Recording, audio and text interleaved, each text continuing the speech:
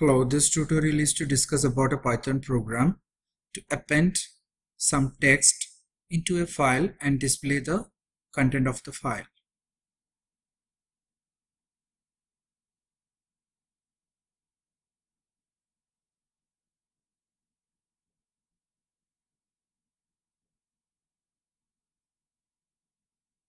We are using the open method for opening the file takes two parameters. The first one is the name of the file and the second one is the mode.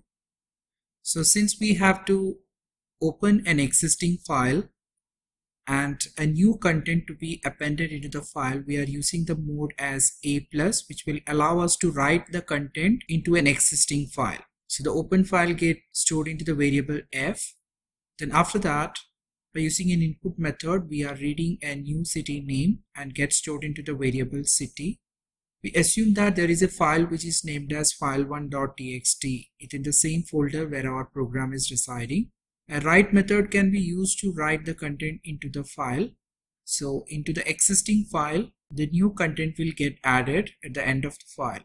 Once the write operation is performed, we close the file and we again open the file, the same file file1.txt with the read mode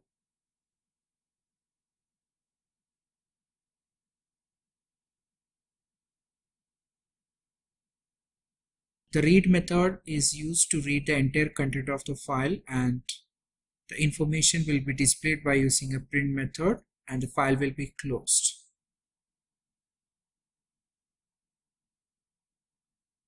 Execute and see the program.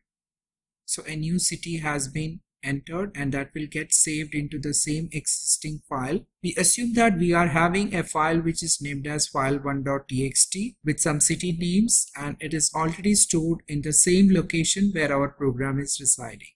So you are supposed to create a file, text file with some informations and the name of that text file must be file1.txt.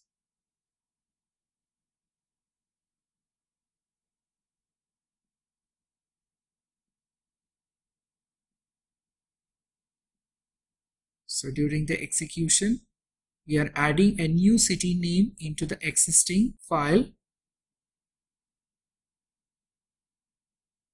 Thank you for watching this video.